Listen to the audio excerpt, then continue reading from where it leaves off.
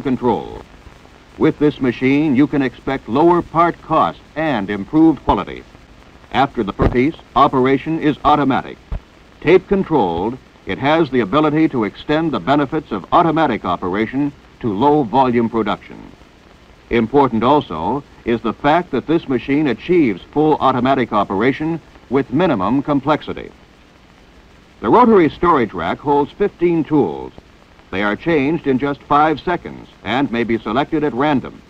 This permits reusing tools or skipping tools. The tool changer paces operation, putting the machine in charge of the cycle time rather than the operator. There are 20 stops to control spindle depth automatically. Stops may be tape selected at random, permitting one tool to be used with several stops, or one stop to be used with several tools. The numerical control system coordinates production. All controls have automatic, semi-automatic, and manual modes of operation. Thumb wheels are for manual input. There's a full range of zero offsets plus infinitely variable speed and feed selection. It's easy and simple to write tape programs. The programmer simply jots down what he wants the machine to do. He programs the work directly from the engineering drawing. The data is then typed on a machine that simultaneously punches the tape and produces a written set of instructions. People can read the program, and the machine can read the tape. A correctly prepared tape prevents damage to machines, tools, or part. Tapes can be used over and over. They are easy to store with the written program for future use. Tapes assure part consistency between runs, thereby reducing the costs of subsequent operations. Tapes produce automatic operation. Tapes reduce cycle times. Tapes make it possible to handle more complex parts than are practical on manual machines. With the tape and written program, setup is extremely simple. The tape drops into the reader at the console. The prescribed tools are set in the rotary storage rack. They are placed in the holders according to tool numbers. Being in an inverted position, they don't interfere with the workpiece. A wide variety of fixed and adjustable adapters are available, permitting the use of standard cutting tools. Parts to be machined are clamped in fixtures on the table. Various types of inexpensive jigs, blocks, and quick locks can be used. Setting up a job is easy. The written program, which corresponds to the machine language of the tape, lists the information in steps or blocks. A typical block contains X and Y table location, the tool number to be used, and in the case of the two-axis machine, the Z number indicates which depth stop will control the spindle. These settings permit the originally selected information to be automatically recalled on subsequent pieces. In this case, the first tool is a milling cutter. With the machine in setup position, the operator lowers the spindle until the tool just touches the work. The spindle can be run down by the hand wheel or from the console. A scale on the front of the machine reads the spindle vertical location in inches. The rapid approach stop is set to this position. The feed stop is then set to depth and a trial cut taken. If required, minute corrections for depth of feed can be determined by micrometer head or other inspection methods. The feed stop micrometer is adjusted accordingly.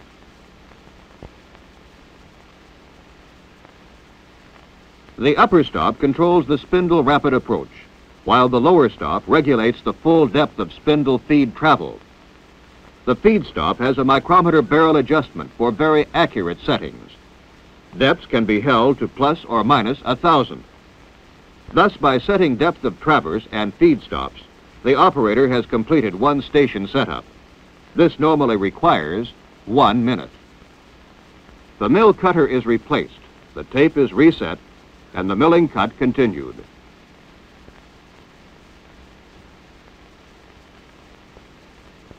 The slot being milled in the steel bar is two inches wide and 3 sixteenths of an inch deep. Although this is a heavy cut in tough material, feed is 8 inches a minute. The table moves automatically to the next milling position in three and a half seconds. sturdy construction of the machine, the spindle, and the table assures table positioning accuracy to a thousand. Repeatability is half a thousand.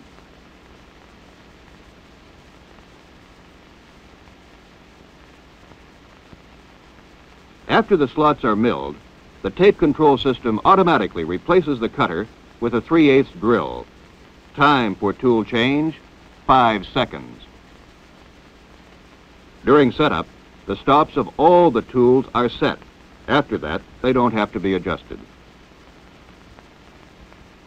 The machine automatically drills eight holes in the block. Exact hole positions have been programmed into the tape. Hole locations in relation to each other is within plus or minus a thousandth or less. DC motors driving ball screws position the table. The reliability and speed of our table movement and clamping is proven on our circuit board drilling machines, which position and drill as many as 60 holes a minute.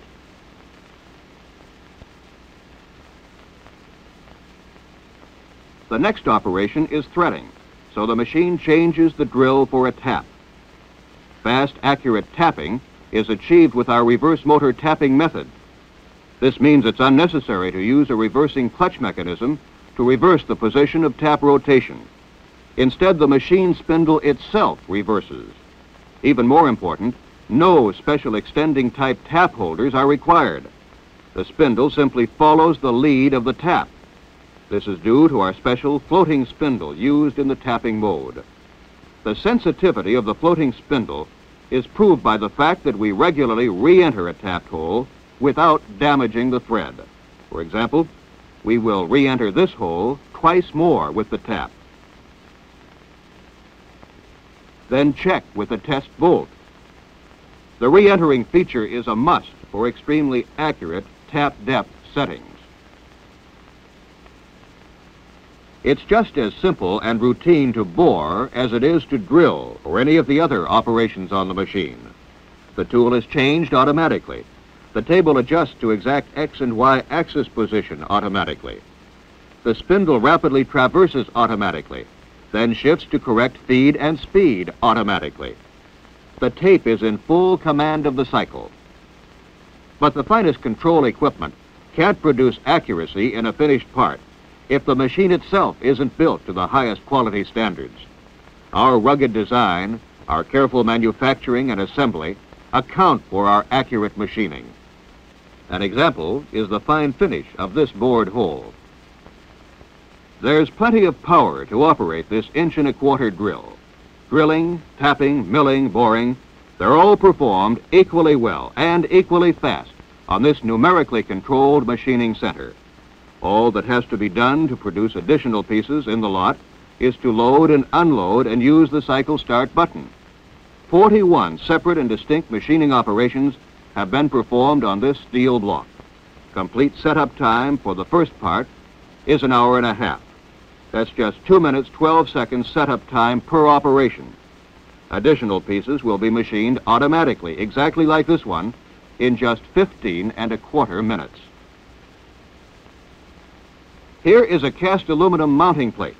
Programming time, less than two hours. Setup time, 54 minutes. 10 tools are used. Machining time is 22 and a half minutes. Two parts are on the table. The first operation is milling a slot completely around the plate. The head is stationary. Only the table moves. Feed rate is 20 inches a minute. And because of its plain bearing design, the table has excellent rigidity. Box-type ways are used, the type normally found in milling machines. The second operation is spot drilling.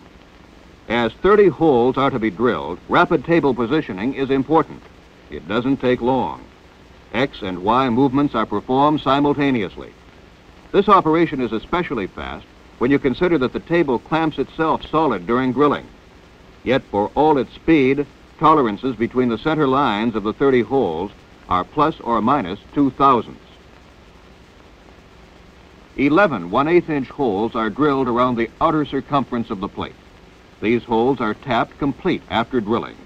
19 quarter inch holes are also drilled complete.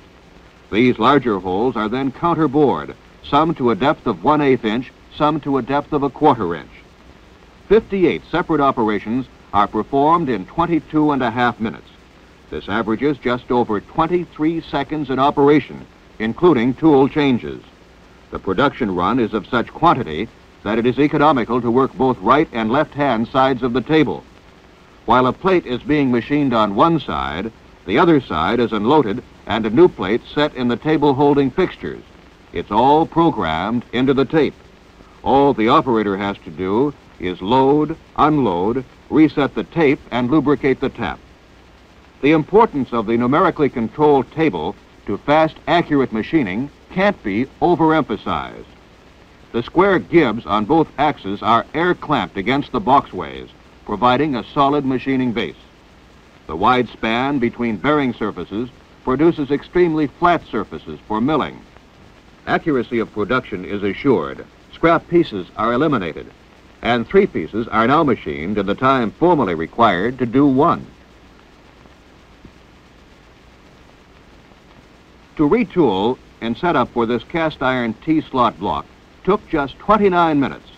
Programming time was one hour. Four blocks mount on the table.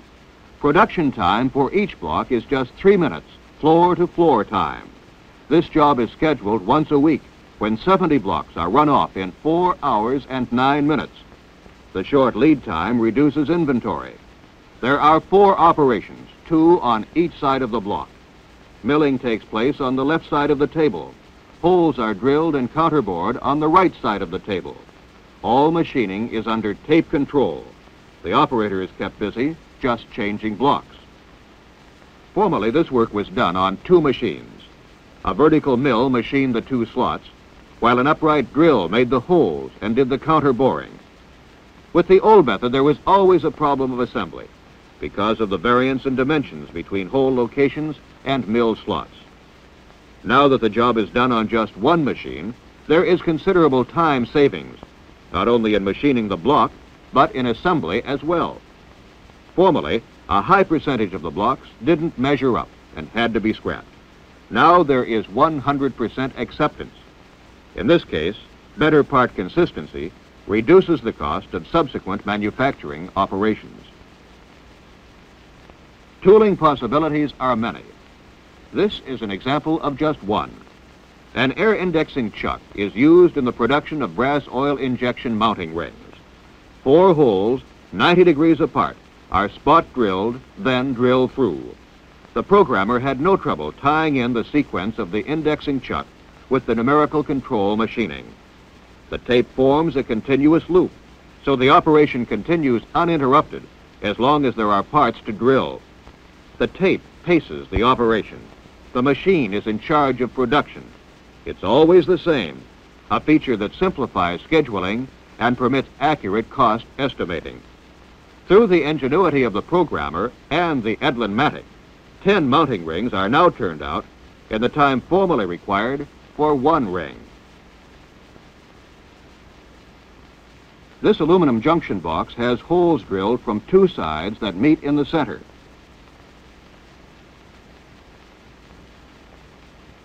Four junction boxes are mounted on the table, a pair on each side. While machining on one side of the table, Boxes are changed on the other. Nine tools are used in all. Complete setup time is 54 minutes. That averages exactly six minutes a tool.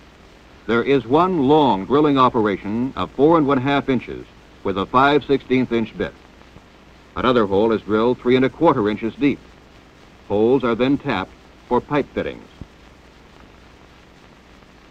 Each tool can be made to operate at its optimum efficiency because of independent speed and feed control settings. This feature is of growing importance with the ever-increasing demands for parts machined to closer tolerances and having improved surface finish.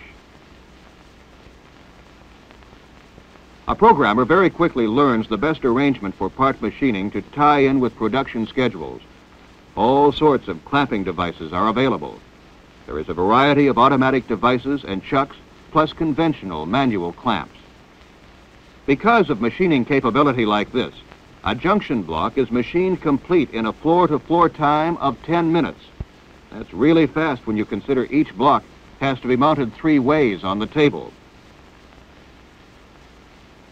This aluminum limit switch post requires milling, drilling, reaming, and tapping. Eight tools do 16 machining operations. First is milling.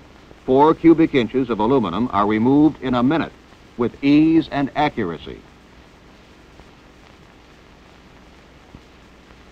This is truly a machining center. It is one piece of equipment that eliminates a variety of horizontal and vertical mills, radial and upright drills. By handling a number of operations with one setup, accuracy between pieces is achieved. Rapid production is assured because all machining, tool changes, table movements, and spindle movements are under tape control. To lessen the problem of zero drift in milling and boring operations, heat-producing motors have been placed outside the major castings, assuring accuracy of part production. After drilling, a hole is immediately reamed. Automatic tool change allows the operator time to switch the coolant out of the way so he can lubricate the reamer. Again, automatically, NC operation traverses the table and changes the tool for the machining operations on the other side. This gives the operator time and space to change pieces to keep production rolling. On a wide variety of jobs, time studies have shown that on the average, two and a half pieces are machined floor to floor in the time it formerly required to do one.